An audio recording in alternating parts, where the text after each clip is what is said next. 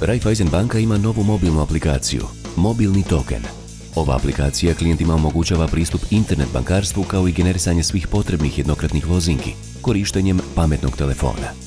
Aplikacija Mobilni token dostupna je novim i postojećim korisnicima internet bankarstva i u potpunosti mijenja fizički token koji su klijenti do sada koristili u ove svrhe. Mobilni token je siguran za korištenje, obzirom da se podaci vezani uz prijavu ne pohranjuju na telefonu. Aplikaciju je moguće preuzeti putem Google Playa ili App Store-a.